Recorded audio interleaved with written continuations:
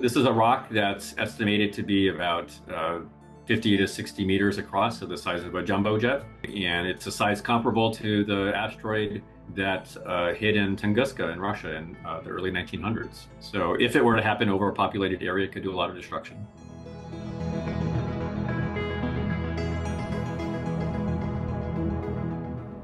The most likely outcome is that it will not hit, and so nobody's panicking yet. Um, and the we're in the process of um, not us, but other organizations that are affiliated with planetary defense, and just starting to think about if that probability continues to go up, then how do we deal with this problem?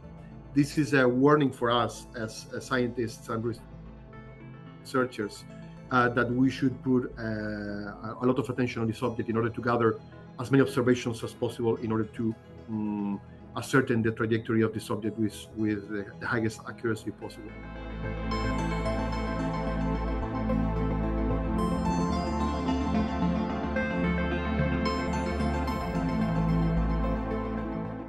So what we are expecting is that uh, by uh, April or, or the latest May with the observations from the James Webb Space Telescope, uh, we have uh, roughly an 90% probability of removing this object from the impact risk.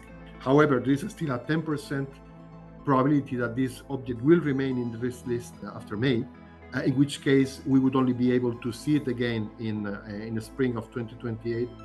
And uh, only then we would know whether it would be an impacting trajectory or not.